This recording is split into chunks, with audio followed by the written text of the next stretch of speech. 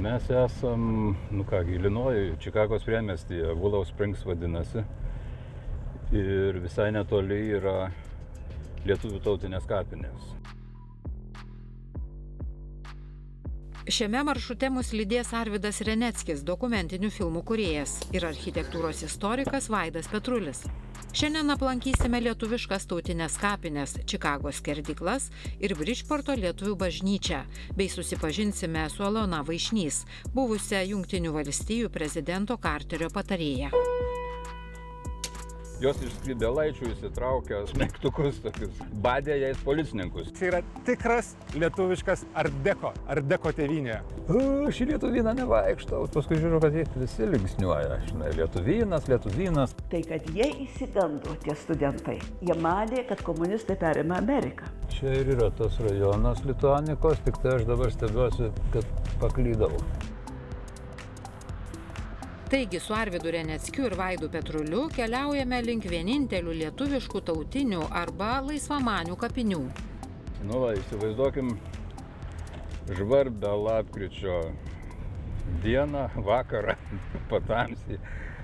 Užeina į vieną iš Bridgeport'e esančių, į vieną iš smuklių ateina, na, kaip liaudiškai šnekant, graborius ir pasigodžia vyrams, kad, nu kągi, sako, Ir vėl turiu nabašniką, bet neturiu kur kavoti, nes prabočius kraučiūnas, tai yra klebonas kraučiūnas, už kokius ten numirėlio griekus, nepriima į katalikų kapines jo ir liepia kavoti už tvoros.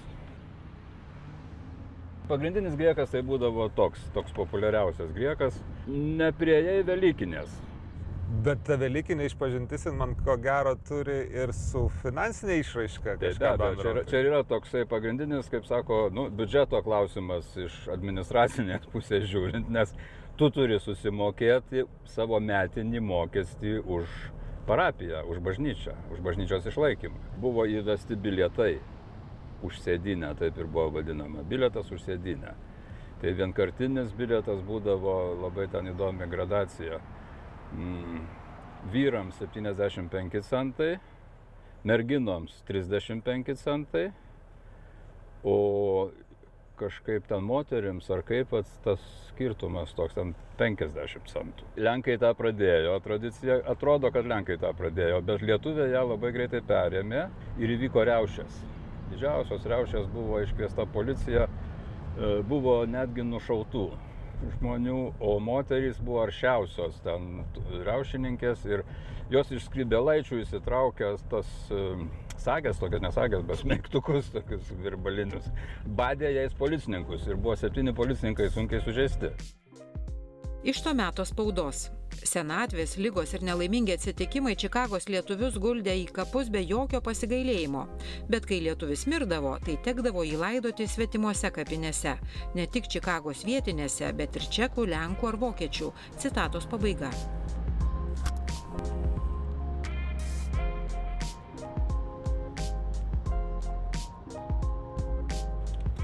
Į Junktinės valstijas atvykus Arvidui Reneckiui, pirmoji jo perskaityta knyga buvo Alekso Ambrozės Ambrozevičiaus Čikagos lietuvių istorija.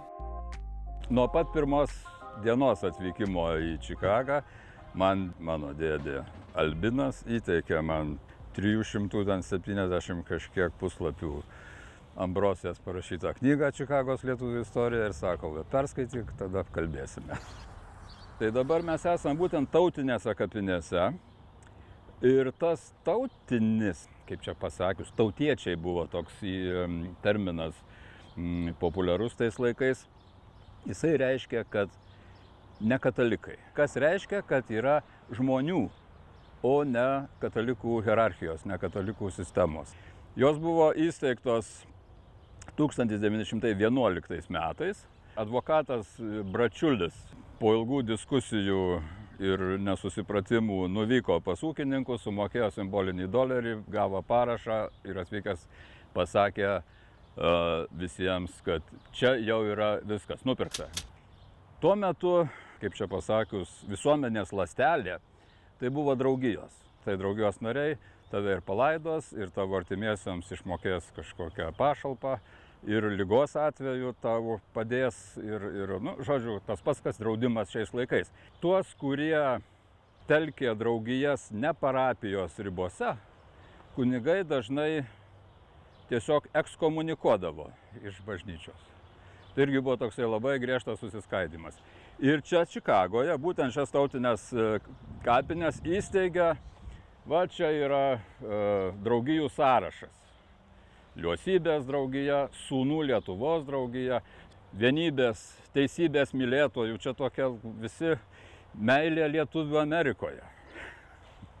čia yra tokių uh, lietuvių jaunikaičių dainos mylėtojų. kai skaitai e, Amerikos lietuvių istoriją, toks vaizdas, kad trys lietuviai viena draugija. Tai ar lietuviai priklausydavo kelioms draugijoms, ar jau jeigu tu esi draugijos narys, tai čia yra tavo, kaip sakyt, gauja ir tu esi tos draugijos ir ne jokios kitos narys. Tas pats šliupas yra įsteigęs begalę draugijų. Tevinės mylėtojų draugija, susivienimą jisai pradėjo, susivienimas vadinasi draugijų susivienimas, įvairių draugijų susivienimas. Ir čia va, vėlgi įdomus dalykas, kalbant apie šitas kapines, yra, kad jie nusprendė susirinkime neimti paskolos iš banko šioms, šioms kapinėms, nes reikėjo sutvarkyti, reikėjo iš ūkio padaryti, čia buvo tokios tujų alėjos, jeigu senas nuotraukas pažiūrėsim, buvo tik keli kapai iš pradžių, žmonės atvažiuodavo iš miesto, iš toliausiai tais gatvėkariais, tokie, nu, tokie tramvajukai kažkokie buvo, paskui pėstė eidavo ilgiausią atstumą iki čia, iki, iki šito priemeščio. Ir jie vis dėlto susigalvojo tokį finansavimo būdą įdomų, kad draugijos finansuoja šitas kapines. Ir jie pabrėžia, kad šitos kapinės toliau finansuoja pačią lietuvišką veiklą. Šiandien 16 hektarų plote įsikūrusios tautinės kapinės yra vienintelės lietuviškos kapinės Čikagoje, nes katalikiškose Švento Kazimiero kapinėse jau laidojami ne tik lietuviai. Sustosime prie pačių įdomiausių paminklų. O yra myslė. Reiškia, čia yra laisvamanių kapinės. Jie visada kartais pirmeiviais vadindavo, o tuos jau klerikalus ir tikinčiuosius atžagareiviais ten visai pravadžiuodavo vieni kitus, ypač spaudoje, tai čia būdavo pasiskaitai atrodo, čia mūšis tik patrankų trūksta, kad visi, kaip sako, subirėtų į skutelius. Šitas kuklus kapelis yra skirtas vyskupui. Ir kai pasižiūrė į datą, jis numirė gana jaunas, 23 metais lietuvių katalikų bažnyčios įsteigėjas Amerikoje. Čia jubiliejiniam leidiniui yra viena labai įdomi istorija, kad e, kai buvo atidarytos kapinės, jos buvo nepašventintos. Teisingai. Ir po kelių metų vis dėlto ta lietuvių tautinė bažnyčia pašventino. Jisai būtent Jisai kunigas, pašventino? kunigas Mickevičius atvyko Stanislavas niekam daug nesakęs ir pašventino šias kapines. Ir čia buvo didžiausi protestai. Taip, taip, taip, paskui skandalas būti, kaip čia dabar taip, tai čia yra nusikaltimas, čia mūsų taip, čia mūsų niekas nesiklausė. Nes netgi per atidarimą šitų kapinių 11 metais Marselietė grojo. susirinko, taip, susirinko čia tos draugijos, tai pirmiausiai sugėdo lietuvių ta- tautinę giesmę, kudirkos, jau buvo gėdama. Nu, kita ką dabar čia vienos neužteks, tai kita užtraukė Marselietę. Nes jau čia viskas tvarkoja, žinai, Marselietė. Kiti neapsikentė ir užtraukė Švento Petro giesmę. Bet niekas nesusipešė. Trys kartos Amerikos lietuvių, tai taip švelniai ir, ir gražiai yra vadinamos, reiškia, ta didžioji, senoji iki antro pasaulinio karo. Tai grinoriai yra, nuo to žodžio greenhorn, tokia truputį pašiepianti, nes nu, toks žioplys, žalias ragas, kur nežino, ką daro. E, Jeigu žmogus atvykęs iš Lietuvos, tai jis būdavo krajalas. O jeigu gimęs Amerikoje, tai jau amerikonas. Kita karta, kaip žinome, pokario. DP Displaced Person. Kaip e, Pulgis Andriušis parašė s- savo ten viename iš straipsnių. Ne, mes esame Dievo paukšteliai, tas DP. Ir tas Dievo paukšteliai, DP tiek prigijo, kad e, nu, visi, čia bent jau kas e- yra, beveik visi žino, kas yra dipukas. Na ir kągi, dabar jau tai trečiajai kartai, šių laikų nepriklausomos Lietuvos atvykėlių kartai, dipukai sugalvojo tokį pavadinimą tarybukai. Ir tas tarybukai iš pradžių kažkaip rėžė ausį, dabar jau neberėžia. Na, tarybukai, nu ką padarysi. Tai jau čia yra tarybukai. Čia jau prezidento valdo Adamkaus e, pasakojimu, katalikų kunigai nekeldavo kojos čia iki kokių 74 metų ar panašiai, bet didžiausias šių kapinių vartų atvėrimas visai plačiai visuomeniai, tai buvo mecenato pakalkos pastatytas kryžius ir jis toksai yra mulokiškas labai sakyčiau, jų buvo čia vos neserinė gamyba turbūt, tas toksai liaudiškas kryžius, šiuo atveju skirtas e, tremtiniams, Sibiro tremtiniams. Atvyko tuomet dar ne kardinolas e, Bačkis. Ir kaip sako vietiniai, jisai čia tiek prikrapino, ne tik ant to kryžiaus, bet ir po visas kapinės čia tiesiog lyjo nuo tos krapiklos, kad e, jau čia ta vieta tapo šventa ir atvira visiems ir nebeliko jokių priekaištų ir nesusipratimų. Vyriausio Lietuvos išlaisvinimo komiteto vado Bobelio šeimos ir buvusio Kauno komendanto šeimos. Ir vat kas įdomu, kad, jie, kad kai kurios šeimos gyvena netgi ne Čikagoje, sakysim, Floridoje ar rytiniai, rytiniai pakrantėje, o vis dėlto ta amžino poilsio vieta randama šiose kapinėse, kurios, kurios vat, yra tokios likščiol tokios, nu, sakyčiau, liberalios. Dailininkas Adomas Varnas, kuris gyveno Čikagoje paskutinius metus netoli Market Parko, ten ir kūrė, ir studiją turėjo. Ir tai yra dailininkas, kuris, na, kaip sakoma, yra, jisai sukūrė litą. jisai suprojektavo tą pirmojo lito dizainą. Ir taip atsidūrė, atsidūrė su ta Dievo paukštelių karta Amerikoje. Kažkada dar tarpukario yra parašęs, kad lietuviškas kryžius yra savotiška mūsų lietuviška piramidė.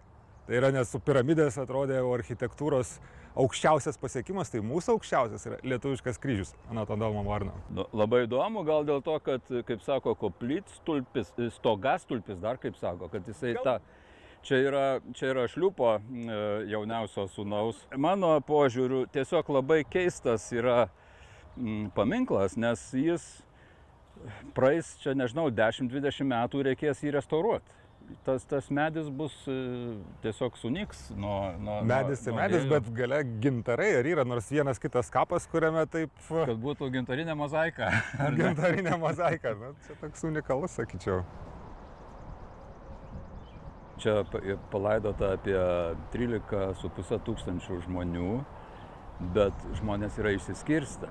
Bet kapinės tai labai gražiai prižiūrimos ir man toks susidarė įspūdis lyginant su Kazimiero, kad čia toks labai grinai lietuviškos kapinės ir Kazimiero daugiau įvairių nu, tautybių. Kazimiero, mm, kaip čia pasakius, jos irgi turi savo žavesį ir savo istoriją be galo įdomią. Ten dabar vyksta, mm, bet galima tą matyti tą anglišką tokį terminą, traditions and transitions. Reiškia, kaip, kaip ta tradicija keičiasi ir kaip dabar, pavyzdžiui, mm, nu mes sakom meksikonai, bet greičiau pasakius yra Latino Amerikos kultūros žmonės, dabar ten kaip katalikai laidojasi ir jie, pavyzdžiui, atvyksta savo artimąjį paminėti jo gimtadienio dieną ar ten kokią kitą progą, jie atsineša kėdės, jie susėda aplinkui tą, jie ten tiesiog, nu, dabar uždraudė alkoholį tą progą, bet ir muziką ten garsiai paleidžia ten kokią nors. Jie ten gyvena, ten gyvuoja ir vis dėlto nu ką padarys atviras pasaulis, kuriuo esame, jeigu esam liberalūs ir turim liberalias kapines, kažkaip šios kapinės laikosi vėlgi labai įdomiai, kad tai yra viena iš turtingiausių dabar lietuvių organizacijų. Nes jie sugebėjo tvarkyti biudžetą gana gerai, buvo nupirkta daugiau negu dvigubai daugiau žemės, negu jie paskaičiavo, kad dar šimtą metų į priekį mums čia reikės. Nes, tarp kitko, kaip tėvas Antanas Saulaitis yra apibūdinęs labai gerai. Nu, žinai, nu ką padarysi, kad, kad, kad tie lietuviai, supranti, nu jie nu, per mažai miršta. Mes, sako, užpildytumėm tas Švento Kazimiero kapinės, ten nereikėtų jokių meksikonų. Nu, bet kad tai lietuviai per mažai miršta, nu tai ką padarys. Tebe gyvuojanti Lietuvos Šaulių sąjunga išeivijoje. Čia jie buvo įsirikiavę su vėliavom, nu, jau be šautuvų, bet su uniformom, viskas labai gražu. Ir pasistato savo paminklą. Tai galvojate, tai palaukit, ar jūs jau čia save pasilaidojot, ar kas čia vyksta dabar, žinai, bet, bet ne, ne, ne, ne, čia mes va, turim žinoti, kad mes čia esame, mes remiame šitą vietą, šitas kapinės, mes egzistuojame ir tai yra mūsų simbolinis paminklas. Taip pat egzistuojanti organizacija, veikianti, bet savo kampą, kaip sako, laiko prilaiko. Kalbant apie skautus, buvęs palangos meras, tai yra daktaras Jonas Šliupas. Aušrininkas, Basanavičiaus bendražygis, nuvairavo tą aušrą gerokai socializmo pusę. Basanavičius jam kartais rašydavo tokių pastabų.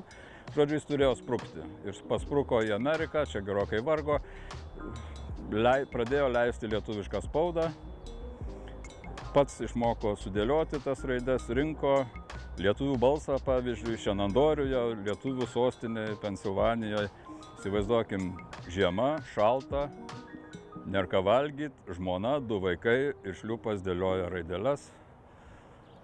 Vieną vakarą ar rytą, nežinau, naktį ta žmona ateina, trenkia tą visą jo rėmą į, į grindis ir tokia rauda jo. Širdelė, tu mano brangiausia, tu mano pažėrė į raideles, kurias aš taip sunkiai dėlioju. Tokia kaip dzukų, dzukų rauda kažkokia. Tarp kitko jis buvo pirmasis Lietuvos ambasadorius Didžiajai Britanijai. Po iškart iš Paryžiaus taikos konferencijos nuvyko ten, kur jo tik nebuvo. Jisai visur buvo, buvo, buvo, su visais sugebėjo susipykti. Lietuvai, nepriklausomos Lietuvos laikais, netgi jam teko pasėdėti kalėjime, kas buvo tiesiog neįmanoma, įsivaizduojant to, to žmogaus na, patirtį ir, ir svorį. Ir, bet jisai buvo palangos meru. Ir mirtis taip pat labai simboliška. 44 metais Berlyne, bombarduojamas Berlynas, e, jam suteikiamas žodis per, per Berlyno radijų prieš Kalėdas 44 metai. Kreiptis į lietuvius lietuviškai, kur galima telktis, kaip gelbėtis, kur eiti, kur vykti, ką daryti. Ir aišku, nacijai pareikalauja tą jo kalbą nu, perskaityti dėl cenzūros ir viso kito, ir ten kažką pabrauko. Jisai be abejo susinervina, gauna infarktą ir viešbutin prieš išvykdamas į radio laidą jis nebenuvyksta. Daugelį svečių iš Lietuvos tikrai stebinantis paminklas Lietuvių masonų klubas. Tai labai gražiai komponuojasi ir šie du ženklai yra Amerikos herbas ir Lietuvos herbas. Kažkaip sutelpa viskas gražiai sutelpa šioje Amerikos lietuvių visuomenės dalyje. Vienas iš buvusių Lietuvos prezidentų, daktaras Kazijas Grinius, buvo irgi taip tas vadinamas Dievo paukštelis. Gyveno labai kukliai, kadangi mūsų prezidento valdo Adamkaus klasės draugas, Griniaus sūnus, buvo artimas draugas, tai Adamkus sakė, kad pirmąsias savaitės gyveno pas juos būte ant matrasų ten kažkokių nakvodavo, nes nebuvo nei baldų, nei nieko, be galo kukliai gyveno žmonės. Bet ir štai tas visuomenės pastatytas e, paminklas šiam mūsų varpininkui, čia jau Kudirkos e, bendražygis, laisvės lietuvių tautai. Tai buvo tie laikai, kada buvo jau tik simboliškai kalbama apie galimą Lietuvos laisvę. Ir nuostabu yra, kad e, Lietuvai atgavus nepriklausomybę, jo palaikai buvo perkelti į tėvišką Suvalkijoje. Ir čia liko dabar jau vėlgi dar vienas iš tokių simbolinių paminklų šiuose kapinėse. Dar viena populiari lietuviška pavardė - Požėla, Karolis beje. Tai buvo imtinininkas, jis buvo paimtas į rusų-japonų karą ir ten apsimokino tų visų kovos e, imtinių veiksmų ir po to pasprukęs iš kariuomenės atsidūrė Amerikoje ir čia labai sėkmingai rungtyniaudavo ir keliavo netgi per visą pasaulį. Paryžiuje susipažino su tokiu Maurice Tilei. Jo slapyvardis buvo Angel. Ir jį rodydavo cirkuose kaip pabaisa. Jie susipažino tenai tapo labai artimais draugais. Požėlą jį atsivežė į, į Ameriką ir dar rungtyniaudavo ir jie visur kartu būdavo, kartu gyveno. Ir pažiūrėkim į datas. 54 rugsėjo 4, 54 rugsėjo 4. Jie nenušovė viens kito. Vienas ringė numirė, o kitas jie apsikabinęs čia pat numirė iš Selvarto. Ir tas užrašas draugai, kurių net mirtis negalėjo išskirti. Ir amerikiečių bulvarinėje literatūroje, tiek ir pasigavę lietuviai yra, kad tas Angel tai yra garsaus, žinomo labai animacinio filmo Shrek prototipas.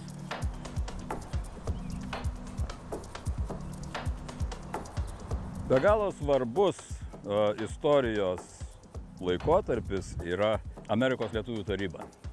Dabar 40 metais, vos gavus žinę, kad Sovietų sąjunga okupavo Lietuvą, draugo dienraščio redaktorius Leonardas Šimutis skambina aršiausiam savo priešui socialistinio laikraščio naujienos redaktoriui Pijui Grigaičiui, ten jo yra paminklas, ir Mykolui Vaidilai, kuris redagavo Sandarą. Kitaip tariant, susijungia trys tuo metu 40 metais na, skirtingų politinių pažiūrų, visuomeninės jėgos ir iš karto jie gauna pasimatymą su Rooseveltu prezidentu, jie nuvyksta į Baltuosius rūmus ir nuo to laiko, nuo 40 metų, jie kasmet gauna iš Baltųjų rūmų raštišką patvirtinimą, kad ši Amerikos politika Lietuvos ar Baltijos šalių valstybių inkorporavimo į Sovietų sąjungą testinumas vyksta kasmet.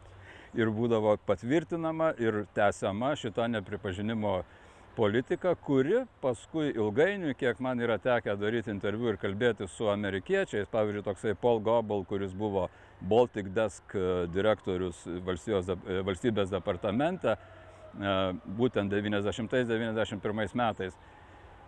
Jo teigimu, jeigu tas statusas būtų buvęs prarastas, tai jums reikėtų tik pasvajoti apie visokius NATO, apie visokius ten netgi ES ar panašiai, nes jūs būtumėte tokiai padėti kaip Gruzija, Moldova ir, ir kitos. Čia buvo esminis sprendimas tais laikais, bet dėl ko Amerika irgi taip tempė gumą ir niekaip nenorėjo 91 metais pripažinti e, Baltijos šalių, dėl to, kad nepagadintų reikalų, nepagadintų reikalų Gorbačiovui. Taigi lankomės lietuvių literatūros klasikų, kitaip negalėčiau įvardinti, Marijos Katiliškio ir poetės Liūnės Sutemos amžinojo poilsio vietoje. Būtent čia, Junktinėse Amerikos valstijose, Lemonte, netoli, netoli man priemestyje, jis gyveno, pasitraukęs iš Market Parko, kad galėtų užsiimti daugiau kūrybą ir gamtoje būt. Čia jisai parašė iš, grinai iš prisiminimų miškais ateina ruduo, ten kur mėlynuoja miškai, kur jo tas prozo žodis, kaip sako, buvo kartais stipresnis už kai kurių poetų metaforas. Na ir be abejo, jo žmona Zinaida, tai liūnė su tema. Jie buvo, kaip čia pasakius, na, tokia, dabar man tik tai angliškas žodis lenda į galvą, outsideriai visuomenės. Jie pasitraukė iš to aktyvaus visuomeninio gyvenimo lietuviško liūnė sutema. Lietuvai atgavus nepriklausomybę, jinai buvo apdovanota nacionalinė premija, tapo laureatė, bet niekada nebesugrįžo į Lietuvą. Netgi premijos atsijimti neatvyko. Amžinadis į ponę Almą Damkienę atvežė tą premiją ir įteikė jai čia Lietuvių centre Lemontą. Ir čia ne, ne liūnė sutemos, čia kitos mens yra pasakymas toks be galo keistas. Aš nenoriu dar kartą prarasti Lietuvą nes man reikės vis tiek iš ten išvažiuoti ir aš dėl to nevažiuoju. Yra taip sakoma Amerikoje. Kapinėse. Čia man, man vienas draugas ital, italų kilmės amerikietis sakė, žiūrėk, matai tie mauzolėjai ten, kur stovi, iškilmingi paminklai ar te visą kitą, ten yra home owners. Reiškia, namų savininkai, real estate ir visa kita. O va sakoma, tai va pieva tokia, ten lentelės tik sudėliotos tai ten yra apartment renters. tie nuomininkai būtų. tai dabar yra tokia dalis šiuose kapinėse, kur, kaip sakoma, tie, kurie netgi neturėjo lėšų. Tai čia tokia sekcija buvo pirmoji, kur buvo galima rasti amžino poilsio vietą ir už dyką. Ir viena, bent jau jubiliejum leidinį rašo, kad viena iš priežasčių, kodėl vėlgi atsiskyrė ir savo kapines kūrė, tai yra, kad tie žmonės, kurie negalėjo patekti Kazimierio kameras, neturėjo pinigų, jam iš tikrųjų yra baisus stresas, tu neturi normalaus palaidojimo, normalios vietos. Tai čia jie rado tą vietą. Bet čia, na ką, taip vadinamoji varguolių dalyje yra gana aukštas vienas monumentas, kurio simbolika šiais laikais kelia tam, tikrų, tam tikrą nuostabą. Žmogus miręs 41 metais, jau įvykus okupacija, nežinia ar jau trėmimai įvykę ir ar jau žinoma apie tai bet mes matome tą e, žmogaus įsitikinimų išraišką. Šiaip lyginant turbūt įvairias tautinės bendruomenės Amerikoje, kurių yra tikrai be galo daug visokių ir įvairių, tai lietuviai pasižymi ypatingai vienu dalyku, kad buvo be galo stiprus lietuvių komunistų judėjimas ir jų buvo tikrai labai daug. Toksai vadas, pavyzdžiui, Antanas Bimba, buvo žymus ir Amerikos e, komunistų veikėjas. Jie leido du dienraščius. Vilnis Čikagoje, Laisvė buvo New York'e. Dienraščiai. Kasdien Saulė patekėjo, nusileido dienraštis. Prenumeratą. Čiagi buvo ne tai, kad kas nors ten koks nors e, finansuoja. Paskui į pabaigą, iki pat 90 metų Laisvė stebėjo, ar Vilnis, Vilnis stebėjo. Vilnis redaktūra veikia ir finansavimas ėjo ir iš Maskvos, ir iš Lietuvos. Pasak to meto spaudos, tokie paminklai būdavo ištepami degutu, o vėlionių vaikai būdavo priversti slėpti komunistų simbolius grėmėsdiškai savo tėvų atvaizdais. Įsivaizduokim mirties datos. 47 metai 59, tai dar vyras buvo turbūt gyvas, nes kalbam, sakysim, 51-2 metai. Ir šitoks dalykas, kai, nu jau visi žinojo, kad yra tremtis. 41 metų tremtis, 47 ten didžiausia banga vėl tremčių. Ir, ir visa visuomenė kalba ir visi viską žino ir šitą saulę. Šioje laisvoje šalyje kur, žinai, laisvas žodis ir vis dėlto yra, nu ką pasakysi, žmonių įsitikinimai, pasiturinti žmonės. Tarp kitko, ta karta, va šitų, ta kategorija arba tos pažiūros žmonės, jie savo broliams, seserim, artimiesiams, karo pabėgėliams Vokietijos tose DP stovyklose nerašydavo iškvietimo. Ten maldauja, mes neturim kur dėtis, mes neturim kur važiuoti, mes negalim grįžti, mes žinom, kad mus ištrems, o jie gauna atsakymą, tai ko jūs norite, taigi dabar e, yra darbo žmonių valdžia, dabar pagaliau yra laisva Lietuva, kodėl jūs negrįžtat? Lietuvos prezidentas Valdas Adamkus, jisai pasakojo, kaip jie atvažiavo iš Lietuvos tais 51 metais ir apsilankę čia šiuose kapinėse pamatė būtent šitą paminklą. Tai čia tie būsimieji santariečiai, intelektualai, inžinieriai ir humanitarai jie tarėsi kokią, naktį, kokią nors naktį atėti ir vis dėlto nuvartyti, išvartyti juos, nes kaip šitaip galima. Išskirtinis Ardeko kapinių administracijos pastatas suprojektuotas 1937-aisiais pirmabangių lietuvių. Architektas Mata Žaldokas, gimęs Lietuvoje, o architektūros mokėsis Junktinėse valstijose. Beje, Jonas Mulokas, kai atvažiavo į Junktinės Amerikos valstijas, Jisai iš pradžių neturėjo teisės projektuoti, tai e, jisai pasirašinėjo Mato Žaldoko e, e, vardu ir, ir naudojo jo licenciją. Dar vienas įdomus momentas, kad ko gero mes galim drąsiai sakyti, kad čia yra tikras lietuviškas ardeko. Dangoraižio siluetas, dekoratyvumas, viskas laikotarpis viskas atitinka. Ir jeigu Kaunas, mes kalbame apie Kauną kartais kaip Ardeko, taip galime prisigalimo bažnyčioje išvelgti dangoraižio siluetą, bet reikia šiek tiek pastangų, šiek tiek vaizduotės. O čia yra būtent tai, būtent tikrasis Ardeko, Ardeko tevinė. A, rankenos irgi viskas yra ta pačia stilistika padaryta, viskas yra puikiai išlikę iki šių dienų. Labą dieną. Mes čia iš Lietuvos nacionalinės televizijos Sveiki, aš Vaidas. Malonu. Mano vardas Leonas Putrus, mano mama iš Vilkio Vištų ir mano tėvas iš Kre Kretingo. Aš čia gimiau 64 metais, bet uh, mano tėveliai nustūmė mane į lietuvišką, lietuvišką mokyklą ir tai truputį išmokiau, uh, bet uh, aš pamiršau, kaip sakant angliškai, you don't use it, you lose it. Tai aš vėl pradėjau išmokti lietuviškai. Tai Koks yra pirmas įrašas? septintas, tai ši būtų mūsų seniausia ta vieta. Bet tai čia pala, 1917 metai, ar ne? Taip. Čia galima sakyti, kad pirmi laidojimai prasidėjo, Jo, nes. Kapinės atsidarė 11, bet ar jau 11 pradėjo, dar tik tai nupirko, paskui tvarkė ilgai. 13 metais. 13. jau pra- jo.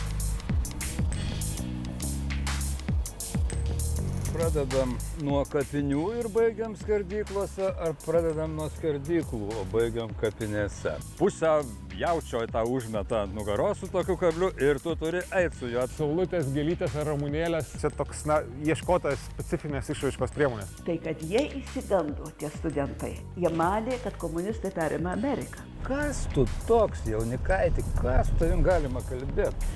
Iš Lietuvos ir dar Čikagoje gyveni. Hello. Possible to, to, to see the church.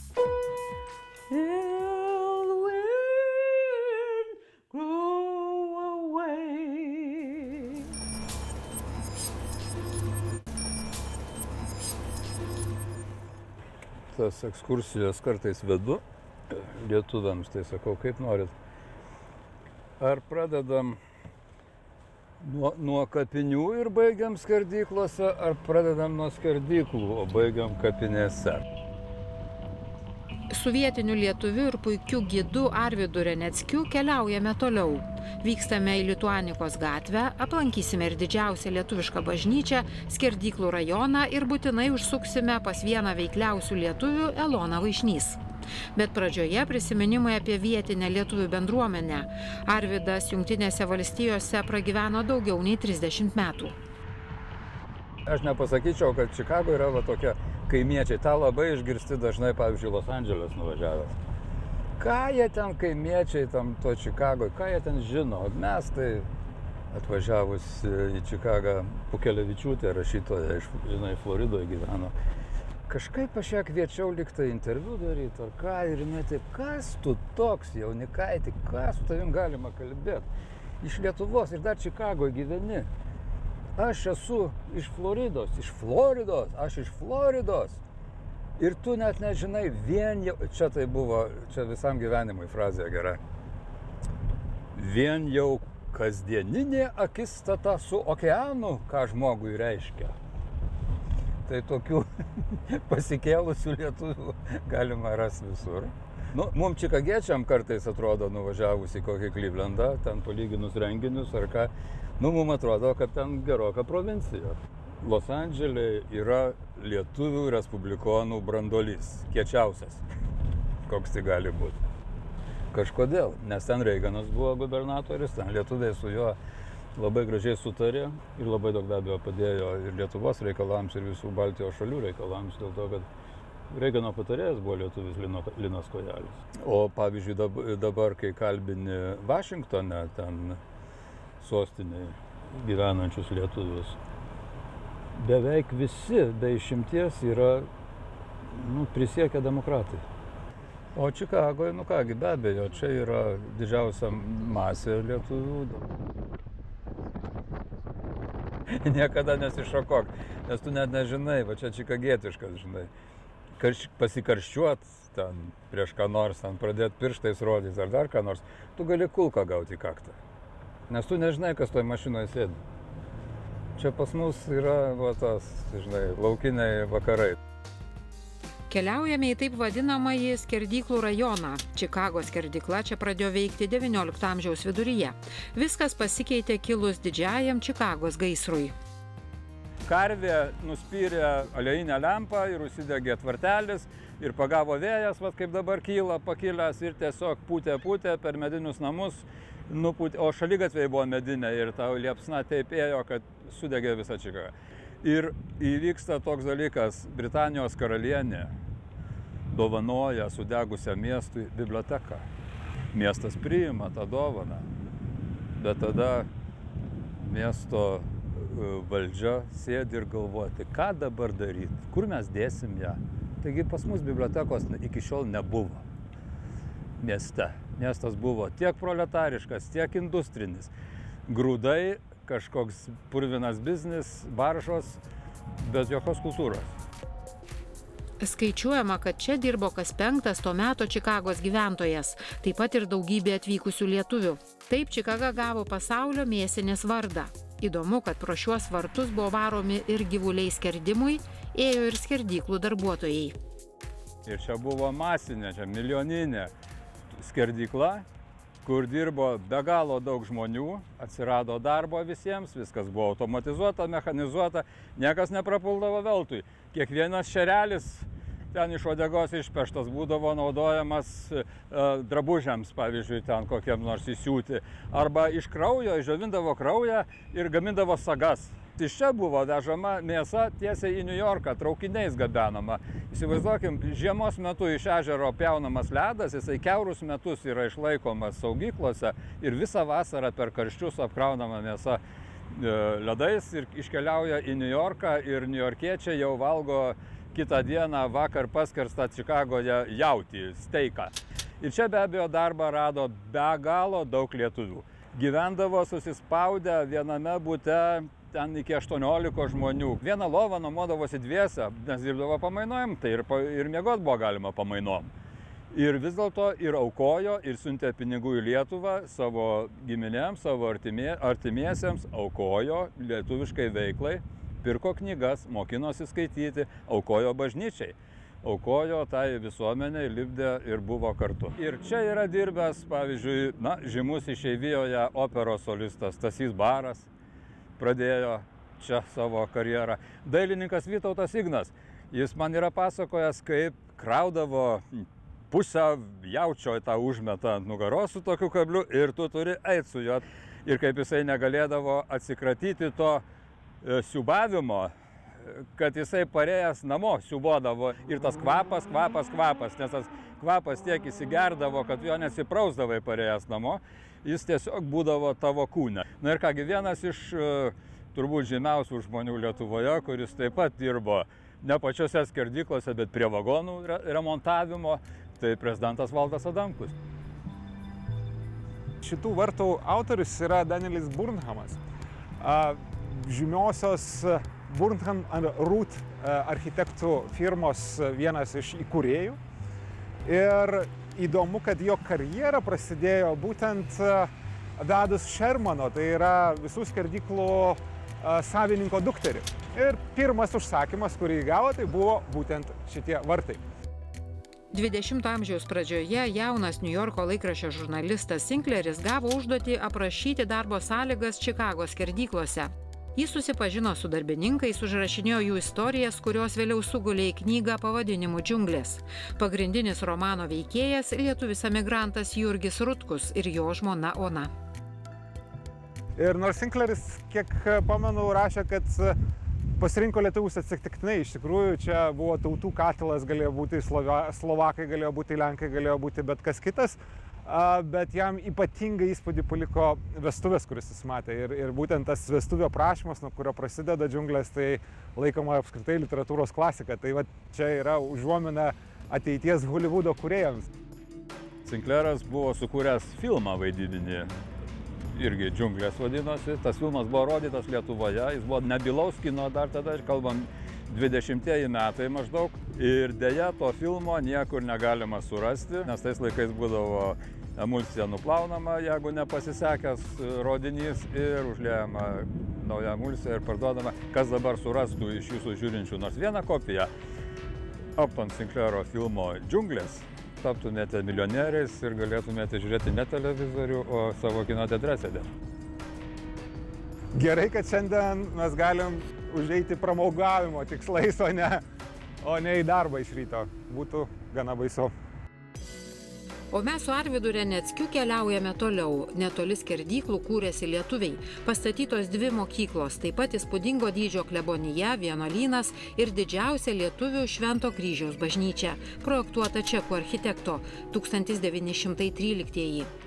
Dipukų menininkų karta bažnyčią sulietuvino.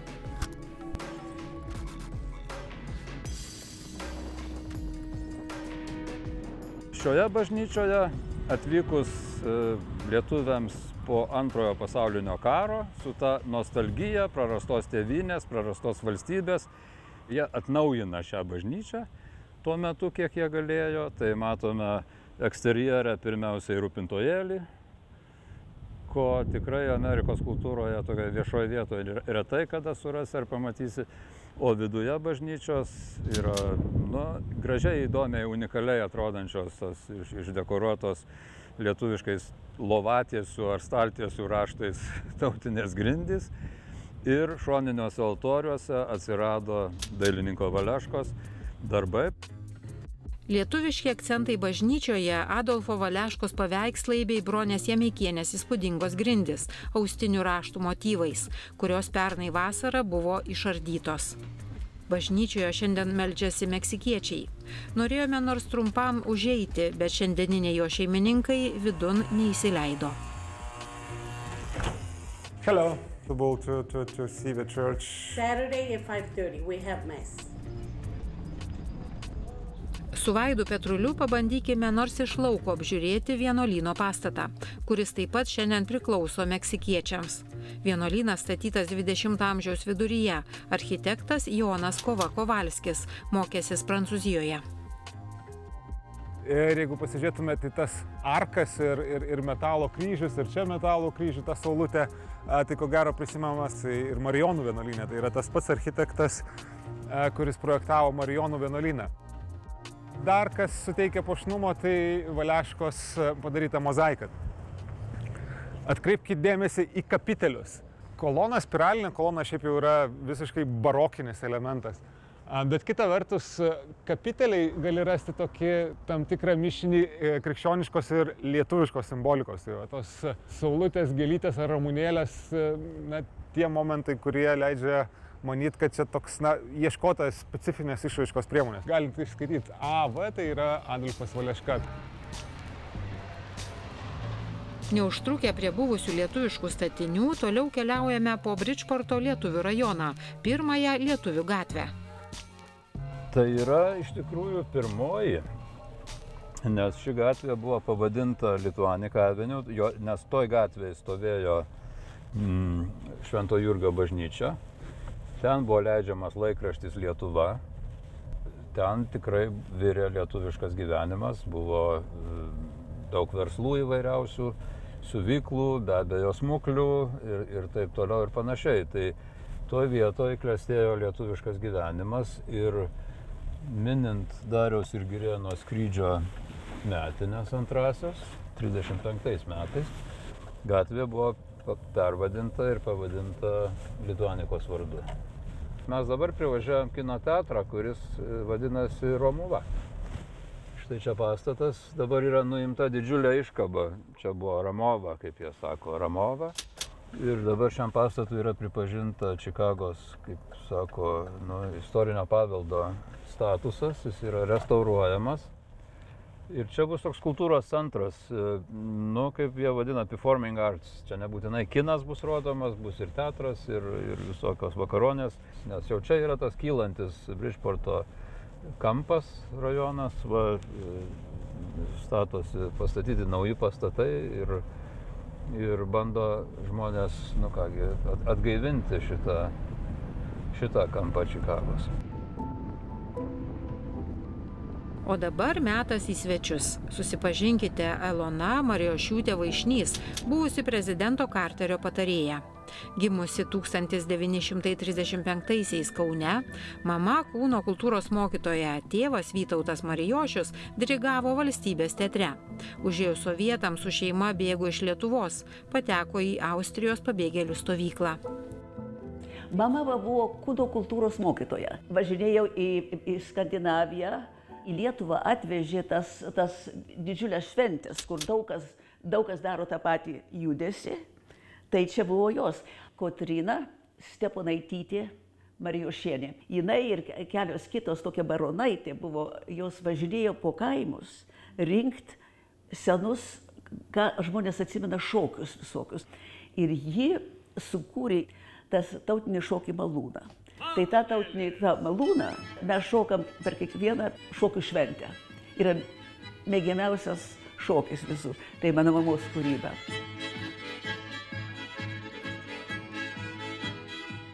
Elonai Vaišnys buvo svarbi visuomeninė ir politinė lietuviška veikla. Rašė Amerikos spaudą, dirbo Konektikuto gubernatoriaus biure, buvo prezidento Karterio visuomeninė patarėja. Kadangi mes save laikėm nepriklausomas Lietuvos atstovais, tai mes kur tik tai galėjom, kalbėjom apie Lietuvą. Ir žinoma, mes jokių pinigų neturėjom, tai mes viską darėm už dyką, bet tą viską darydami mes išmokom labai, iš tikrųjų iš, išmokom rinkodaros labai gerai. Naudojomės savo, išmokom išvystyti pažintis tarp žmonių, kurie daro sprendimus, ypač politinius sprendimus. Ir, ir tą, aš nežinau, ar Lietuva dabar tą supranta, nes ir toliau tas veikia. Ir Lietuva, reiškia, kažkaip dirba tam aukštesniam lygiai, bet įtaka į kongresą tai yra iš apačios. Baigusi prancūzų kalbą Jeilio universitete, Elona Vaišnys puikiai kalba penkiomis užsienio kalbomis. Mes su seserimi seselė Igne važiavom kažkada į Europą ir nuvažiavom pas savo tą tetą, seselę Agnietę, į Ingenbol Šveicarijoje.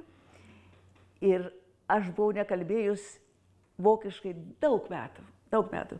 Ir mano didžiausiam nustebimui tas dalykas po, kiek, po kelių dienų atšviežėjo ir taip toliau. Aš taip pat mokiausi, kaip pabuvau Lietuvoje tada 72 metais, kai pabuvom, ir kaip daug kur buvo bėdos man, nes aš nekalbėjau rusiškai, aš nemokėjau rusiškai. Tai daug kur mane tenais apriekdavo, manydavau, kad aš, reiškia, čia nais iš lietuviško patriotizmo ir užsispyrimo, o aš tik nemokėjau. Pavyzdžiui, aš nuveidavau į paštą ir pradėjau pamatyti, kad pašte galima pirkti komunistiškos spaudos iš vakarų, iš Amerikos ir, pavyzdžiui, iš Prancūzijos, Liumanity. Ir pradėdavau tiem studentams pasakot. Ir žinoma, kadangi tie laikraščiai buvo uh, spausdinami užsienį, tai jie negalėjo taip keisti faktų, kaip galėjo sovietinė spauda. Ir kas buvo labai įdomu, kaip tik buvo vienam iš tų laikraščių, buvo per vidurį kalbantis prie daug, daug, daug, daug mikrofono toksai žmogus, komunistas, kuris vadinasi Gus Hall. Kandidatuodavo į Amerikos prezidentus per kiekvienus rinkimus.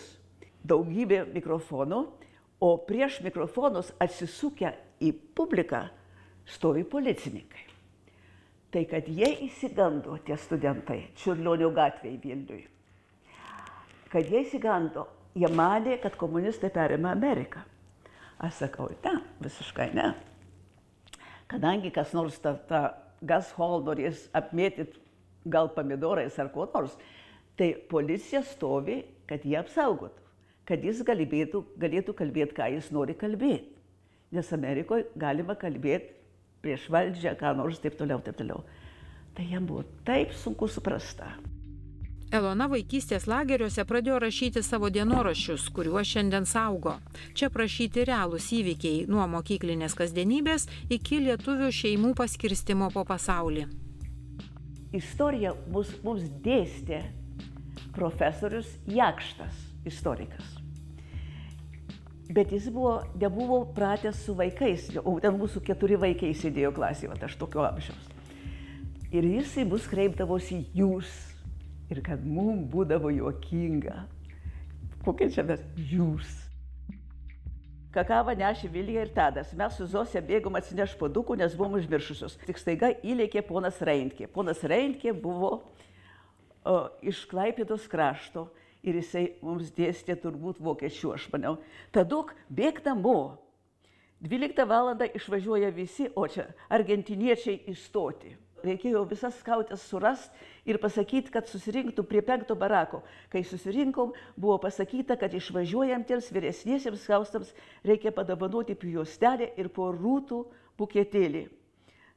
Danutė buvo greit pakelta į paskiltininkas laipsnį, o jūra apdovanota tautinė juostole ir taip toliau. Tai čia dar iš tų. Aš buvau tada skautė. Ar ši skautė? Paprašyta, ko nors palinkėti Lietuvo žmonėms, Elona Vaišnys pirmiausia kreipėsi į senjorus. Negalvokit, kad aš senas nieko negaliu. Visiškai ne. Jūs turit patyrimo, jums reikia tik drąsos. Kadangi visa visuomenė sako, kad o, jūs eikite tenais į, į, į trečio, trečios kažkokį tenais universitetą, bet tas yra grinai tik savo. Yra Lietuvos visa visuomenė, Mums reikia tik pasitikėjimų ir, pavyzdžiui, galima, galima daryti įtaką iš tikrųjų jūsų rinktus atstovus į Seimą visokių būdų, visokiais būdais. Jūs galite reikštis per spaudą. Taip, jums tik reikia atsitiest ir suprast, o, dar man daug liko. Elona pasakojo, kad tik išėjusi pensiją atsirado laiko ir tapybai, ir muzikai. Dabar pradėjau Wagnerį mokytis. O, aš tada, kadangi mes Amerikoje, tai gal reikia amerikietišką. Ilwind vadinasi. Ill, ill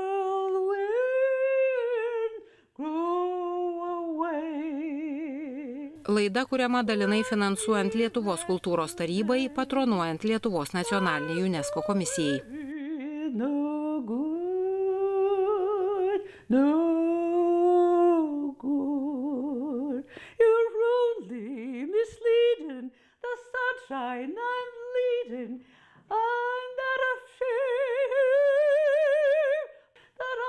Laidos naujienas rasite Stop juostos ir LRT Facebook paskiruose bei YouTube kanale.